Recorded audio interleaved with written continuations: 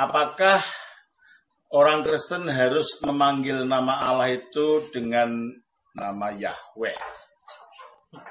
Dan dari mana asal usulnya nama Yahweh itu? Pertanyaannya adalah,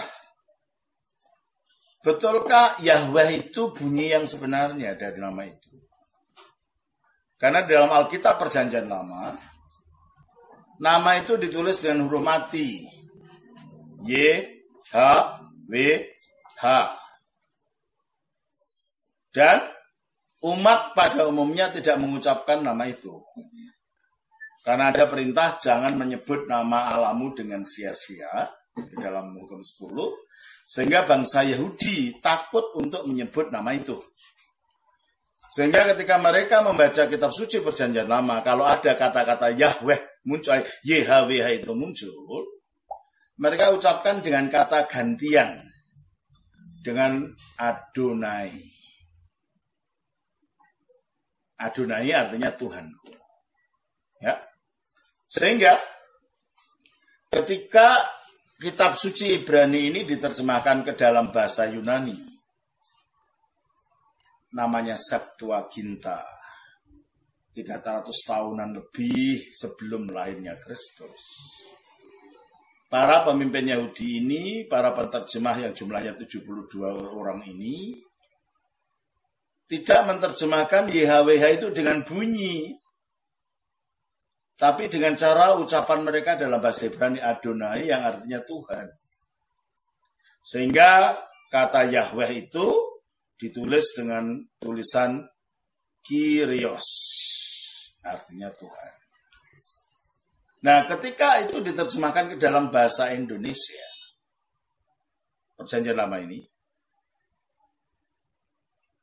LAI mengikuti kebiasaan orang Yahudi tidak mengucapkan nama Yahweh itu dengan Yahweh kecuali terjemahan bahasa Batak, terjemahan bahasa Jawa. Itu ada kata Jehovah. Kalau terjemahan bahasa Jawa Yehuwah diucapkan begitu. Tapi dalam terjemahan bahasa Indonesia tidak. Ulangan 6 ayat 4. Tolong bacakan. Israel, Tuhan itu Allah kita. Tuhan itu Esa. Tuhannya huruf besar semua atau huruf besar, artinya saja yang besar? Nah itu bunyinya Yahweh. Jadi kalau ada perjanjian lama, ada kata Tuhan, huruf besar semua. Itulah kalau dalam bahasa Ibrani Y, H, W, H. Yang sebenarnya kita tidak tahu ucapannya gimana. Bisa Yahweh, bisa Yehuwa, bisa Yihwi, bisa Yuhu, tidak tahu. Sebab ini huruf mati. Dan kata Yahweh ini diucapkan adalah pendapat para sarjana kemungkinan besar bunyinya itu Yahweh. Tapi kita tidak tahu apakah betul Yahweh. Itulah sebabnya ada yang mengucapkan Yehuwah dalam bahasa terjemahan bahasa Jawa, Jehovah, Jawa di dalam terjemahan bahasa Batak, eh, Yehova. Terjemahan-terjemahan itu karena kita memang tidak tahu bunyinya sehingga para sarjana mengatakan mungkin bunyinya itu bunyi hidupnya dari Adonai dimasukkan. Adonai.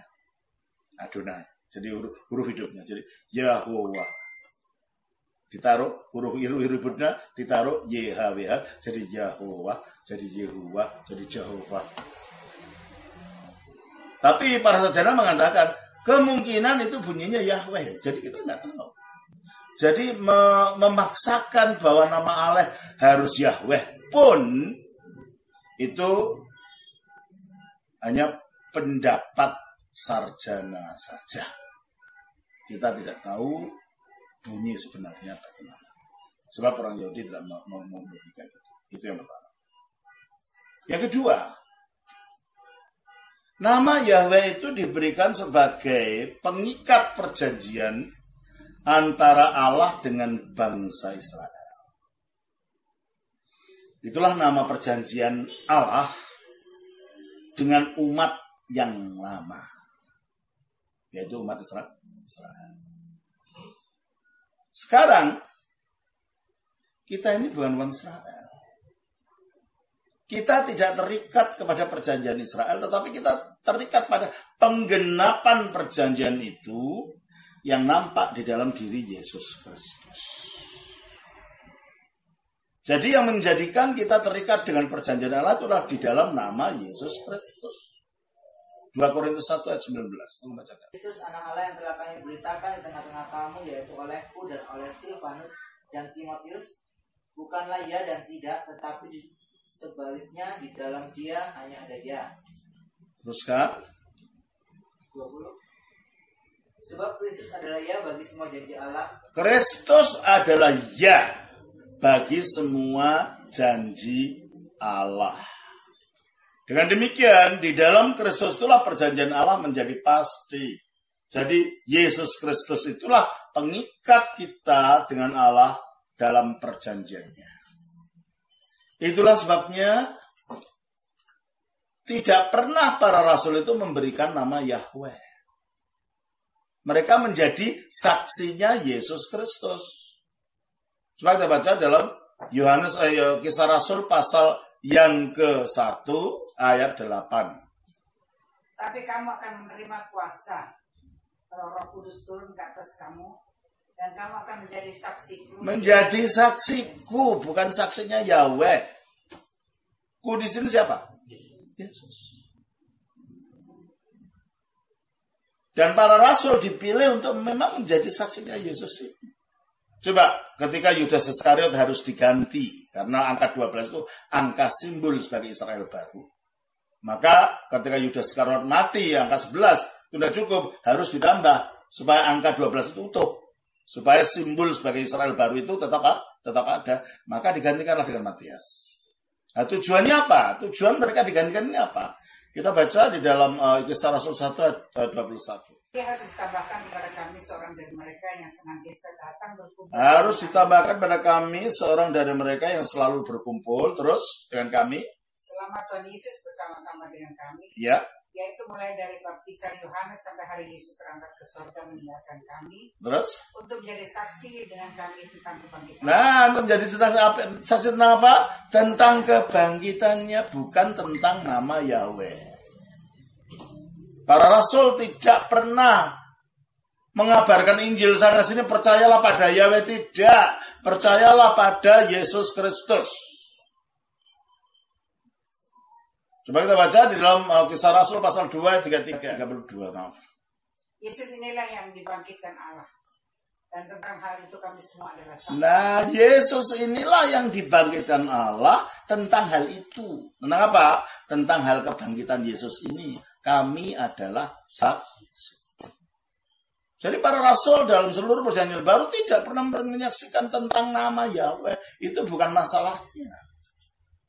Masalahnya adalah keselamatan itu loh dimulai di, di, ada di dalam Yesus. Karena mereka pemberita keselamatan bukan pemberita nama Yahweh.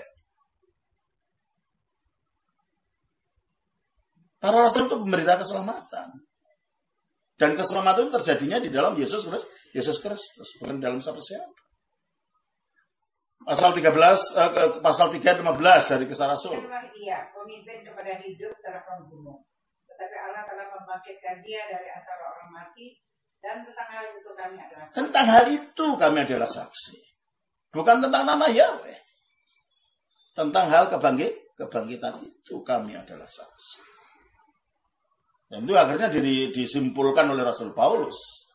Di dalam kisah Rasul 15 ayat yang ketiga dan keempat. Sebab yang sangat penting.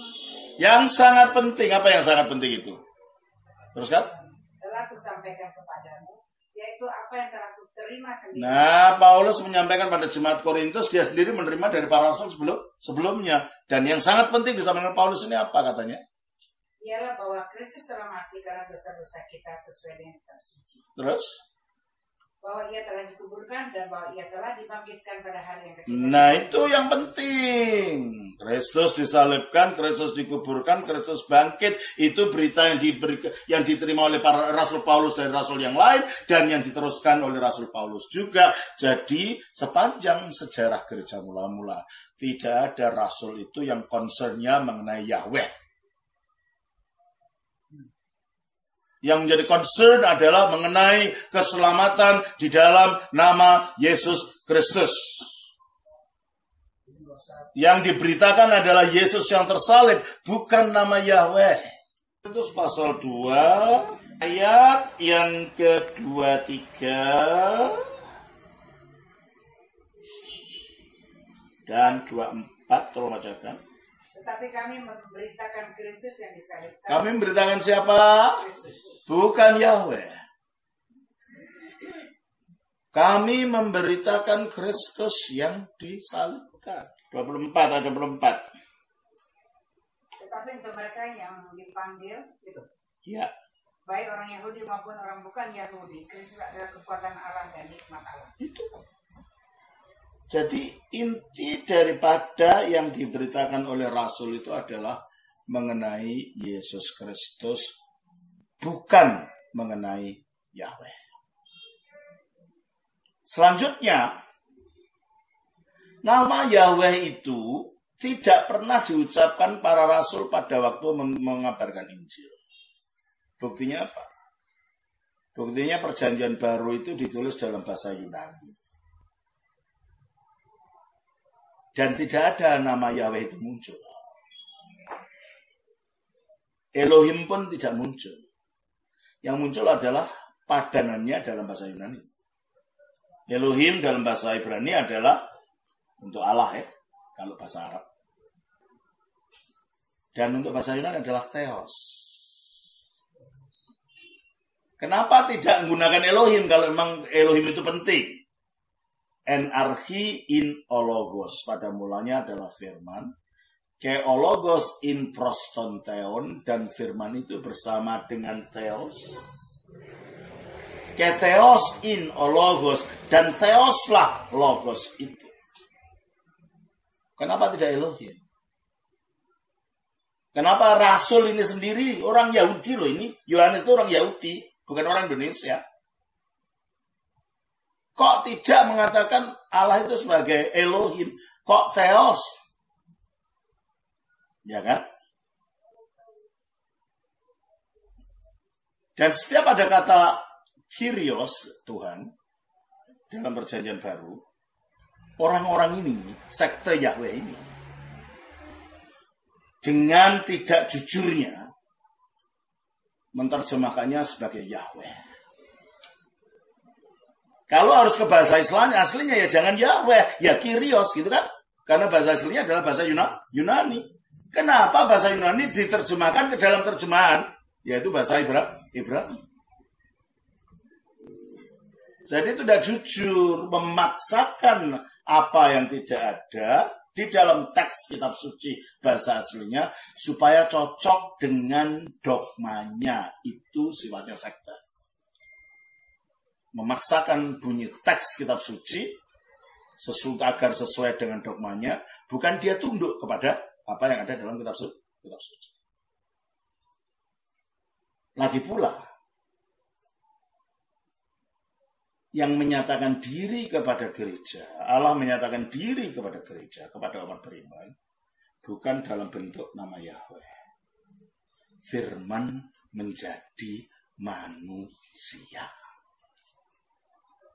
Dan manusia ini, sebagai penjelmaan firman ini, ketika berada di dunia namanya bukan Yahweh, namanya Yesus Kristus. Bahasa aslinya sih Yosua Hamasya. Tapi artinya sama. Mengapa kok bisa Yosua jadi Yesus? Karena bahasa Yunani tidak punya huruf Y. Jadi Y-nya ditulis dengan huruf I. I, Yesus. Dan bahasa Yunani, nama laki-laki selalu diakhiri dengan S. Nama Ibrani Yosef bisa, bisa jadi Yosefus. Nama Ibrani Eleazar bisa jadi Lazarus. Karena itu memang budaya Yunani nama bisa berubah, bisa saja. Saya itu loh kalau saya menggunakan nama nama kecil saya Bambang gitu kan. Orang menyebut saya Beng Beng, Mr. Beng Beng gitu loh. Nah gitu kan sudah bukan Beng Beng, itu namanya bahasa. Karena orang menerjemahkan nama saya dalam bahasa Mandarin. Fang Fang Tewi Piantolo. Padahal kan Bambang Dwi Piantoro. Nah ini ucapan suatu bahasa jangan disalahkan kalau orang bisa mengucapkan bahasa kita gitu. Nah, makanya orang Yunani mengucapkan Yosua sebagai Yesus. Dan ketika kata Yesus ini diucapkan orang Latin menjadi Yesus. Sehingga semua bahasa-bahasa Eropa Barat yang merupakan derivasi bahasa Latin mengikuti ucapan Latin menjadi Yesus, Jesus, Yesus. Dan kita di Indonesia akan mendapatkan dari orang Belanda, ngikut-ngikut bahasanya orang Eropa jadi Yesus. Nah, sementara kitab suci Yunani ini akhirnya diterjemahkan ke timur, ke bahasa Syria, bahasa Aremia bahasa Arab. Kata Yesus, Yosua diucapkan menjadi Yesu atau Iso, Aramea Barat, atau Isa, Aramea Timur atau Syria Timur yang diucapkan di Syria di di uh, apa di Persia. Dan kelihatannya ketika Muhammad menyebarkan Islam, dia banyak bertemu dengan orang-orang Syria Timur ini yang mengucapkan Yesus sebagai Isa. Gak bisa begitu. Bisa lah. Orang Jawa ya, di bagian Banyumas itu, kalau bilang apa gimana? Apa, gitu ya. Yang Jogja, opo, gitu gitu kan. Sama, Isa, Iso. Karena perbedaan dia, dia Jadi kalau kita lihat terjemahan-terjemahan, nama Yesus selalu diterjemahkan disesuaikan dengan bunyi ucapan orang setempat. Alisa itu berasal ucapan dari orang Syria Timur. Yang itu yang dikenal oleh Muhammad sehingga nama itu masuk di Quran. Ya. Kalau Yesus atau Yesu itu dikenalnya di di Jesus di, di, di barat sana. Nah, Hamasia itu artinya orang yang diurapi. Nah, terjemahan bahasa Yunani-nya Ho Christos sehingga diucapkan bahasa Latin Christus. Bahasa Belanda sama. Bahasa Inggris menjadi Christ. Diambil dari bahasa Latin, orang yang diurapi. Bahasa Syria menjadi Demeshiha. Isha Demeshiha.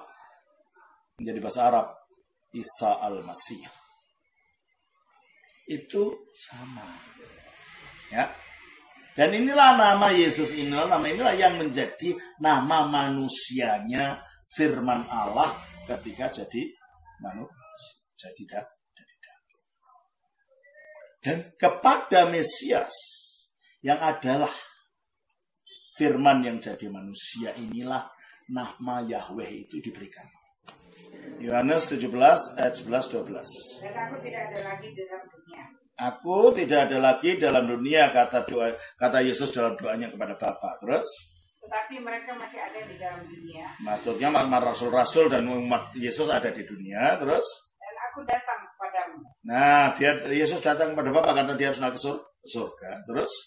Ya Bapa yang kudus, pelihara mereka dalam namamu. Peliharalah mereka dalam namamu. Namanya Bapak siapa kalau dalam perjanjian nama? Ya Yahweh itu. Terus?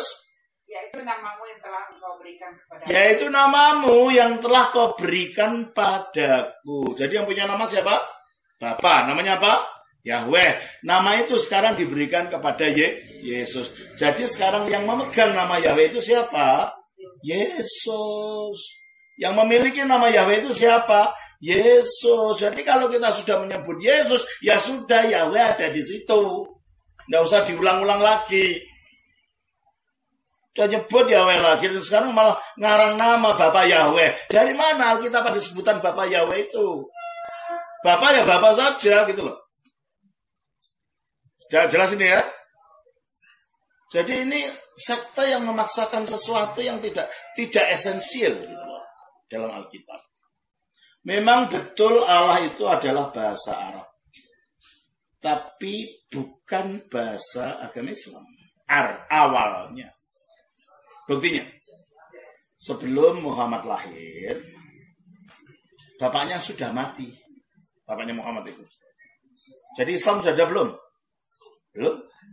Tapi toh nama bapaknya itu Abdullah.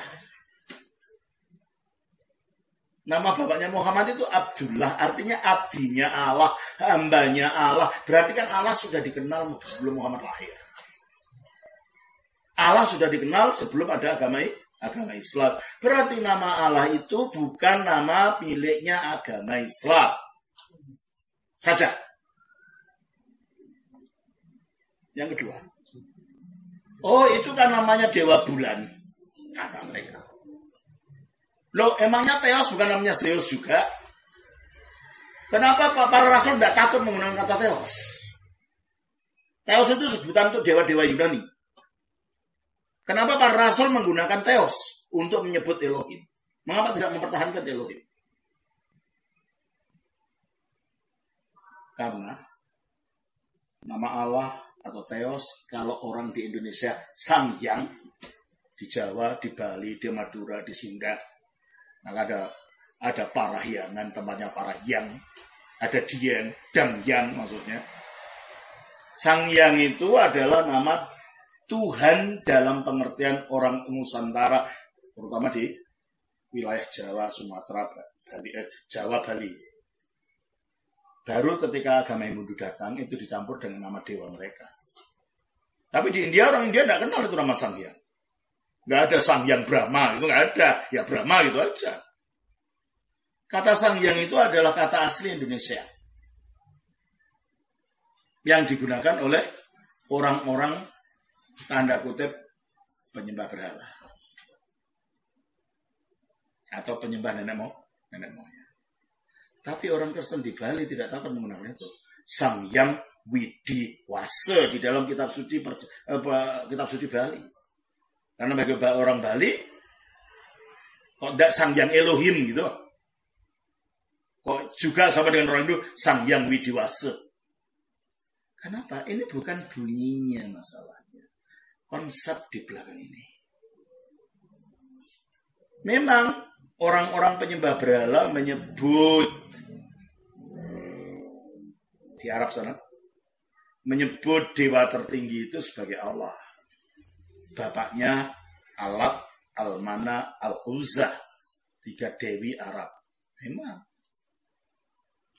Tetapi orang Kristen dan orang Yahudi pun menerjemahkan Elohim ke dalam bahasa Arab. Bunyinya ya Allah. Fi ulbat'i karena al kalimat pada mulanya adalah firman.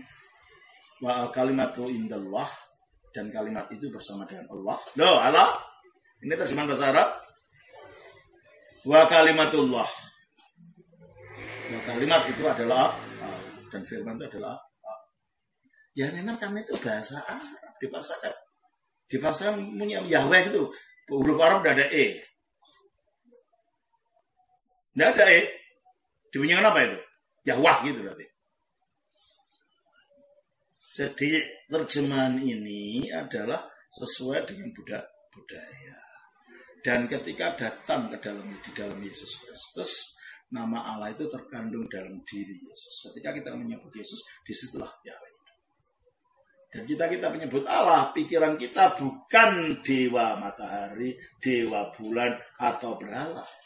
Yang kita maksud Allah di sini adalah Bapaknya Tuhan Yesus Tuhan Yesus. Sama seperti ketika para rasul menggunakan kata Theos, yang dimaksud bukan Zeus, bukan Hermes, bukan siapa-siapa. Yang dimaksud adalah bapaknya Tuhan, Ye Tuhan Yesus. Ketika orang Batak menyebut Debata Amang, Allah Bapa, yang dimaksud bukan Debata mula jadi Nabolon ag agamanya dulu, bukan. Yang dimaksud adalah Tuhan ini Tuhan Yesus. Ini adalah namanya kontekstualisasi. Kata mereka, oh nanti kalau di, uh, kalau Allah di, disebut bukan dengan namanya, mana dia mendengar kamu? Ya itu kalau manusia tidak kenal namanya, Allah itu harus disebut dengan apa saja bisa.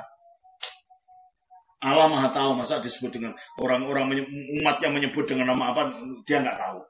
Ya kalau kita ada orang menyebut saya apa ya saya tidak ngerti kan itu bukan nama saya. Karena saya manusia. Pengetahuan saya terbatas. Allah tahu hati. Tahu hati manusia. Dia menyebut dengan apa saja, dia akan dengar. Oleh karena itu, mempermasalahkan nama Yahweh itu kehilangan poinnya. Sejauh yang dimaksud dia adalah bapaknya Tuhan Yesus, pencipta langit dan bumi, yang memiliki firman kekal dan roh kekal dalam dirinya, yang mengutus anaknya turun ke dunia, mati disalib dan bangkit lagi pada hari ketiga naik ke surga bagi keselamatan manusia. Itulah yang kita maksud. Sebutlah dia Allah, sebutlah dia Debata, sebutlah dia Sang Yang Widiwasa, sebutlah dia Sangti, sebutlah dia apa saja.